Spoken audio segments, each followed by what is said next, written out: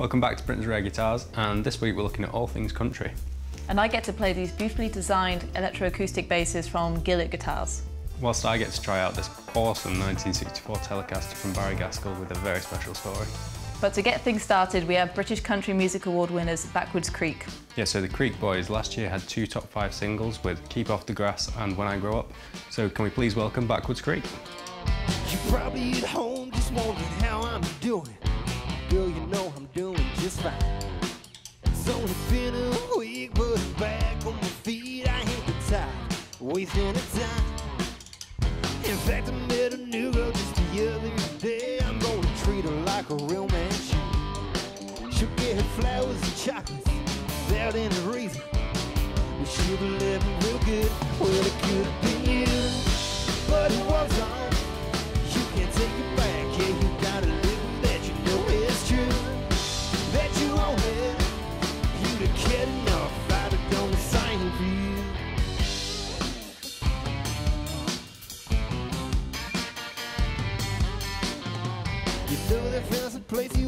wanted to go. Yeah, the one with a heart to say that. Made a reservation. Me and this girl, thanks to a coupon I found in my wallet. Just for a who showed up in boots. Should have seen her face. I guess you can tell that I'm doing well. But don't you ever forget that it could have been you.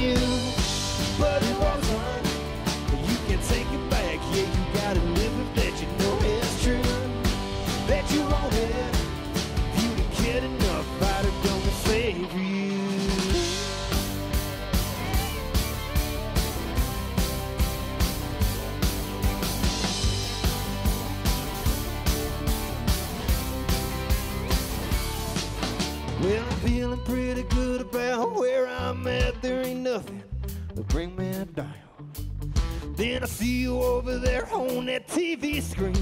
The arms of some other man.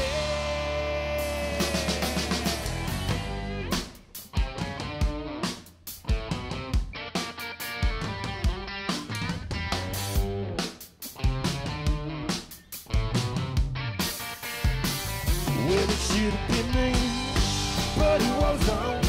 Well, I can take it back. Yeah, I gotta live. You know it's true. Cause I. If I'd cared enough, it could have been me. And it could have been you. But it was on.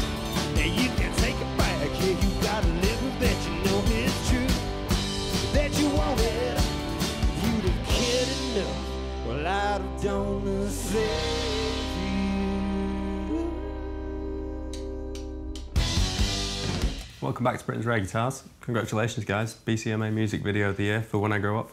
So tell me, what inspired the song and the video? Um, I think the, the song was mainly inspired by uh, just all our kind of dreams and hopes when we were kids. Uh, so some of us wanted to uh, own a roller coaster, some of us wanted to ride a dinosaur. Uh, I wanted to be a basketball playing pirate.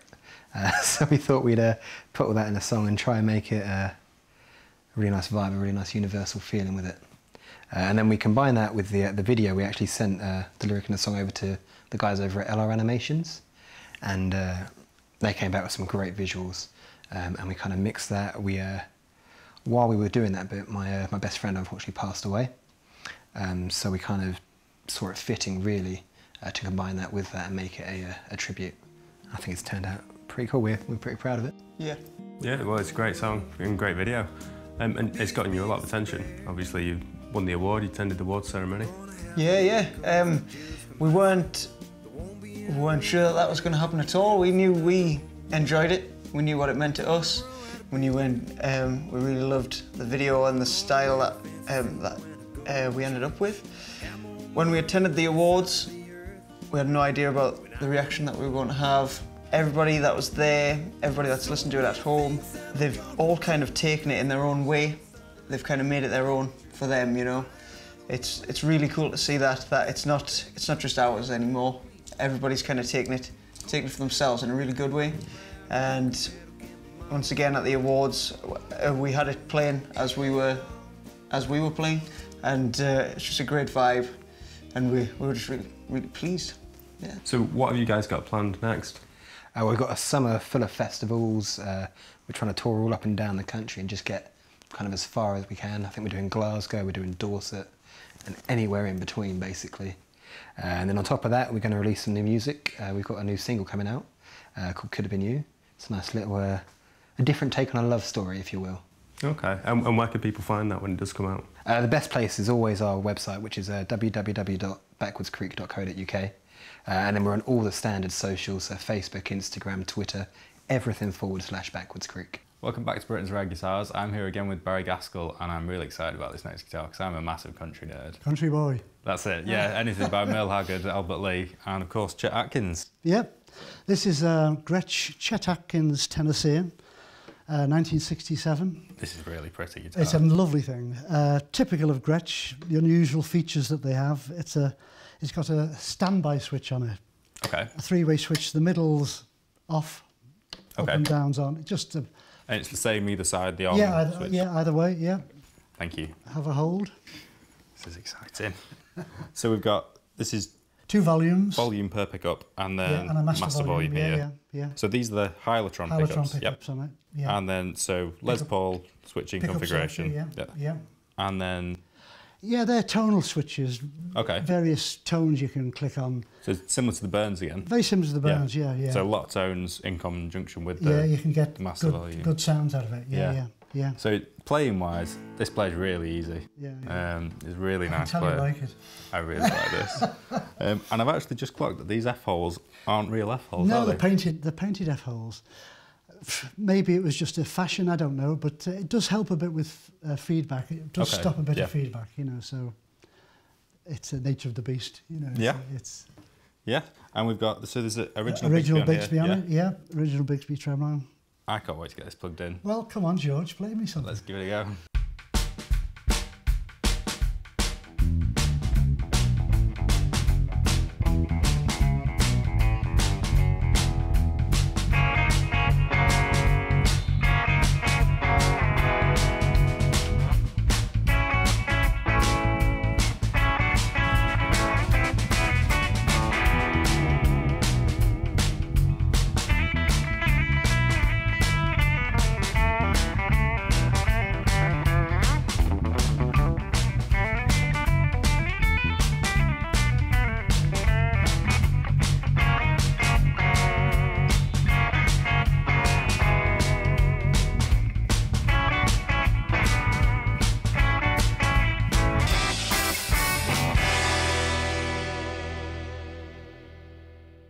Welcome back to Britain's Rare Guitars. I'm here with Mike Gillett of Gillett Guitars.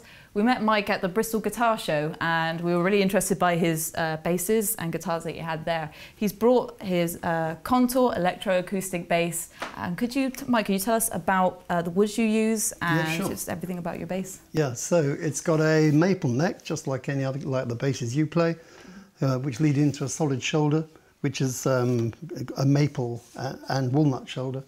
And then body surfaces are mostly rosewood with a Sitka top. And these other bits, um, the ergonomic bits, are, made, are American walnut, okay? We've also got electronics here, so it is an electroacoustic, as we were saying earlier. Yeah. So it's got a mag pickup here made by Bare Knuckle from Falmouth, Yahoo, English stuff, Yeah. and a transducer. And the two things are mixable so that you can make this sound like a double bass. Cool. So this is a guitar-sized double bass. Yeah. Um, the strings go through the body to the back, so you've got um, long, long, long strings, which means On extra bass. sustain, but Great. you've got a short scale, so it's 31 Big sound, small package. Big sound, small package. Nice. Yep. Brilliant. So, uh, in a previous life, uh, Yeah. I heard you're an aerospace engineer. So, how different is Yeah. it working with now wood rather than metal? Well, I mean, I, I joined the Navy when I was 16 and did an officer apprenticeship, um, which gave me a great background in engineering and structures and physics and things like that. And I've, but I've always been a musician since I was 14, so combining my sort of engineering knowledge with being a bass player eventually, I sort of came up with a, a way of making this possible. So if you look at the inside structure of this, it's got A-frames, um, bit like a biplane fuselage, Right, yeah. which separate the two halves from each other, and, and it makes a very strong structure. Very Which, cool. which means that we can have all these lovely, lovely, lovely um, things which make it comfortable to play.